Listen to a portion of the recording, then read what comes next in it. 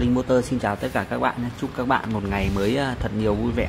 Thì hiện tại hôm nay là mình đang có một à, con à, động cơ của cái máy người ta dùng để thái chuối, thái cỏ cho gà và có một đầu để dùng để nạo sắn luôn các bạn nhé. Đấy thì con động cơ này thì là nó cũng là hàng được mình thấy cái rô của nó là cũng khá là ổn dài nhưng mà đây các bạn xem này.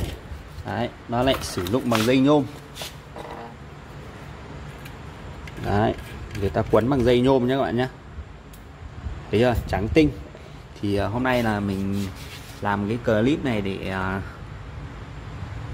cho các bạn là tham khảo là khi mà những cái con động cơ mà bằng à, dây nhôm này thì quấn lại như thế nào. Nhiều người nó vẫn cứ hay là gọi điện thoại cho cho mình hoặc là à, nhắn tin à, hỏi mình bảo là thế những cái con động cơ dây nhôm khi mà mình chuyển đổi sang dây đồng ấy thì là mình cần phải thay đổi hay như thế nào không nhé các bạn nhé? Đấy thì hiện tại là con động cơ này là nó là cái ờ, động cơ 750W tốc độ 2.800 vòng phút. Thì à, bây giờ mình sẽ à,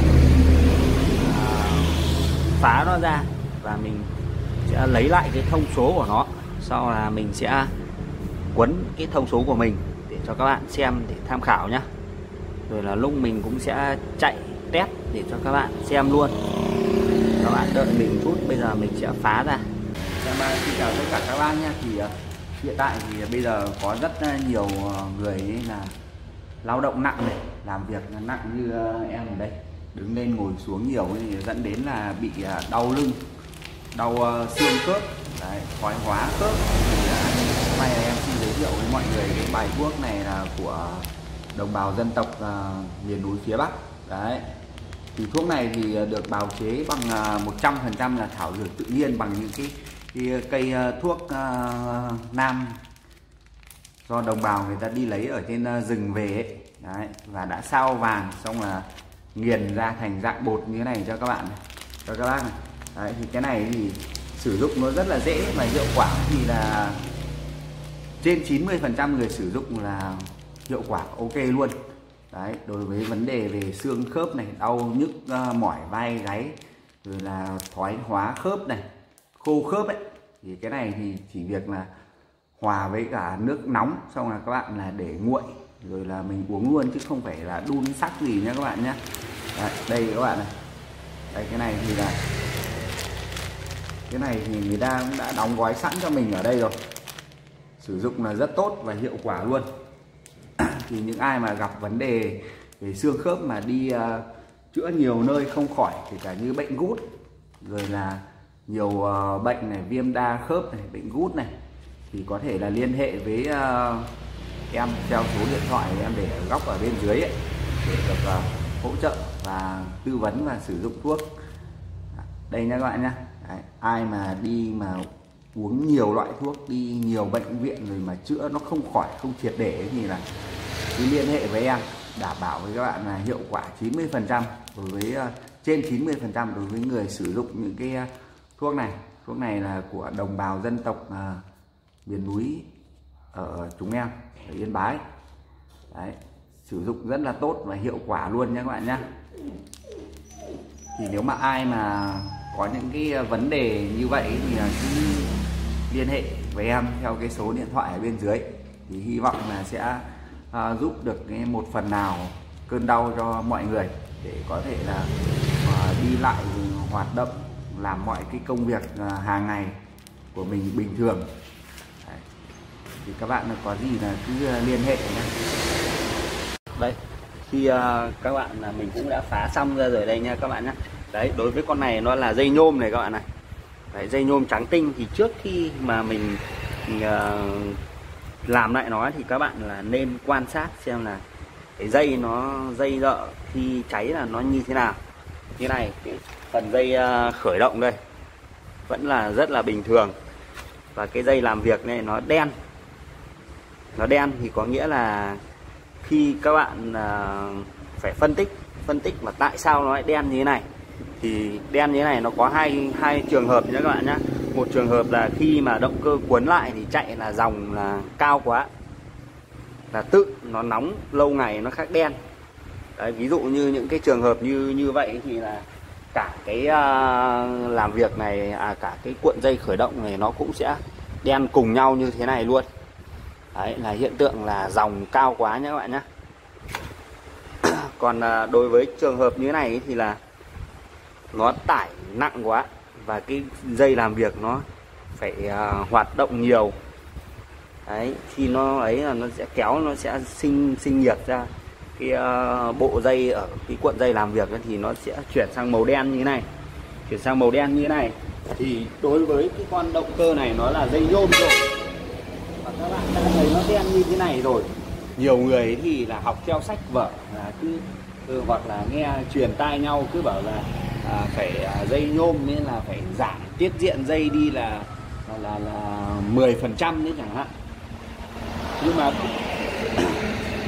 như cái dây nhôm này ví dụ như con này người ta đang cuốn là dây 0,80 mình vừa đo là dây 0,80 nha các bạn nhé. Đấy. Mà bây giờ các bạn cứ dựa vào theo như người ta như thế và các bạn lại rút đi giảm đi 10 phần trăm có nghĩa là các bạn chỉ quấn vào dây 70 hoặc dây 75 thôi chẳng hạn. Thì là cái chất lượng của nó thì nó chỉ bằng như cái dây nhôm và nó vẫn quá tải như thế này. Đấy nên các bạn cuốn lại thì nó chạy nó sẽ không được bền. Là cái thứ nhất các bạn phải quan sát. Đấy nên như con này ấy là dây nhôm nó đang là cuốn dây là 0,80 và cái ờ, dây khởi động này là cuốn ờ, dây 0,55 khi à, mình cũng à, vừa nãy thì là mình đã đo được à, à, lấy được cái thông số của nó rồi. Bây giờ mình sẽ viết vào đây để cho các bạn xem và tham khảo nhé cũ này.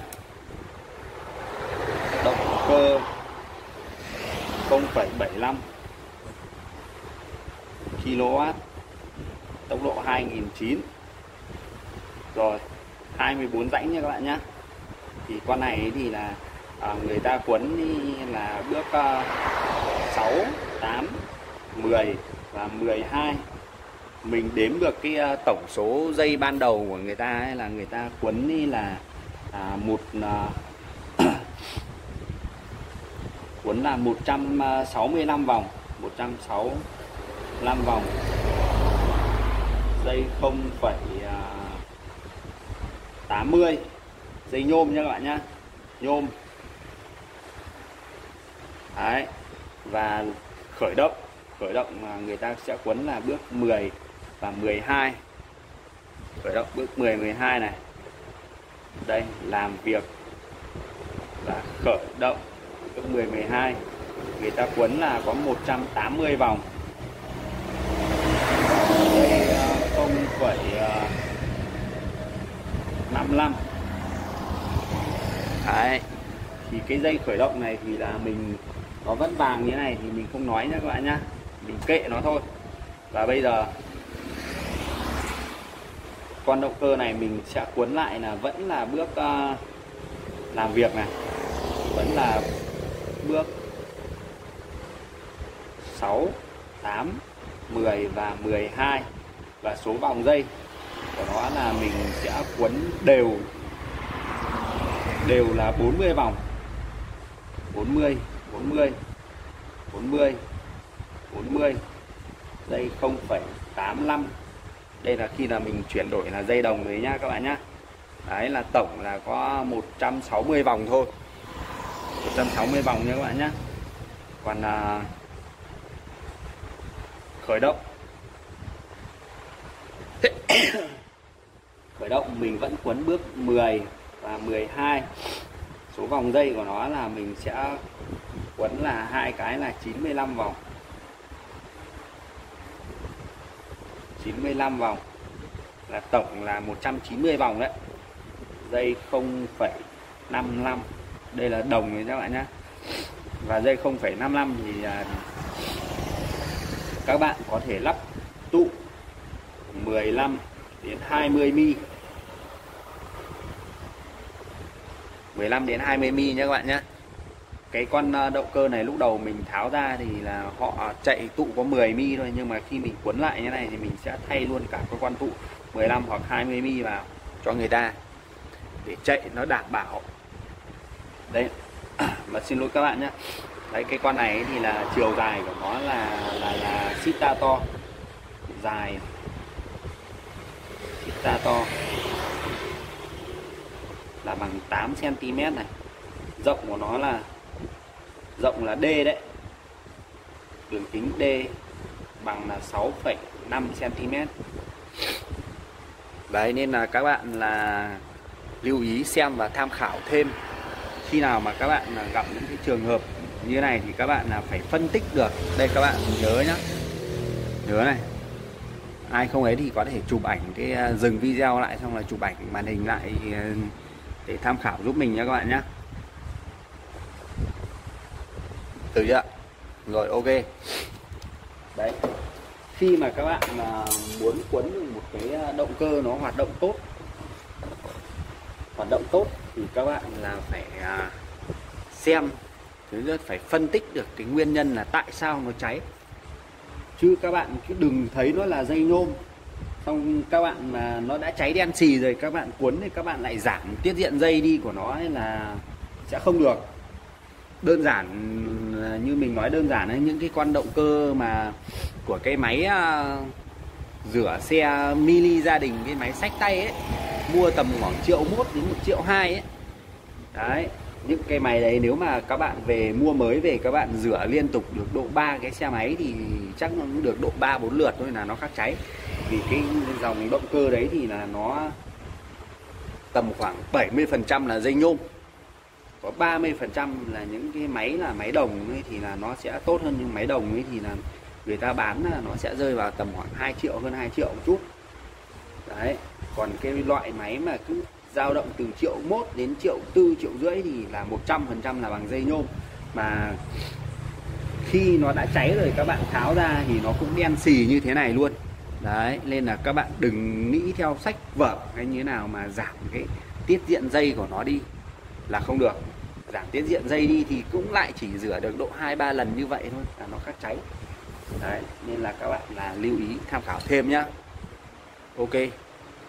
Để uh, và cứ tưởng là thằng này bị thần kinh bảy nhỉ vâng. Rồi à, bây giờ mình sẽ cuốn lại cuốn lại thì không nói làm gì rồi. Cuốn lại thì rất là đơn giản thôi. Các bạn cuốn như máy bơm nước bình thường. Đấy, bây giờ mình sẽ cuốn lại và khi chạy là mình sẽ test thử cho các bạn. Chạy xem là dòng của nó là bao nhiêu ampere như là có ổn định hay không. Như vậy các bạn nhé. Và ở đây mình cũng đã quấn lại cho nó xong được ở đây nhé các bạn nhé. Đấy. đây.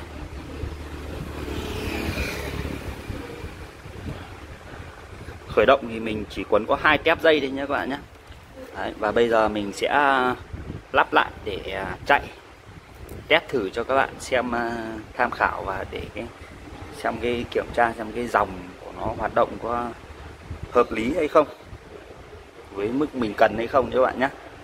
Rồi, ok đây mình cũng đã lắp và đang cho nó chạy đây rồi các bạn ạ. Đấy.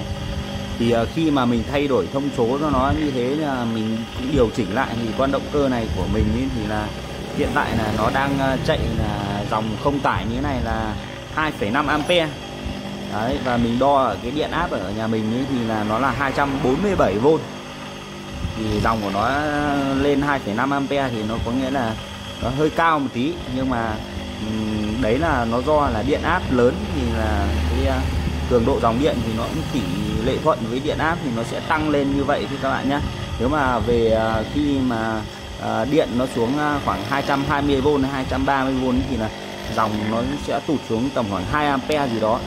Như vậy là con động cơ của mình là hoạt động là rất là đẹp, rất là tốt luôn. Không vấn đề gì nữa các bạn nhé Đấy. thì lần sau mà các bạn à, xem à, gặp phải những cái con động cơ mà nó từ dây nhôm thì các bạn là cứ phải xem rằng là nguyên nhân tại sao nó cháy thì lúc đấy là mình đã ấy chứ không đừng có mà mà giảm tiết diện dây đi hay như thế nào như thế nó sẽ là không tốt đâu các bạn nhé rồi hẹn gặp lại các bạn vào à, những cái à, clip sau Đấy.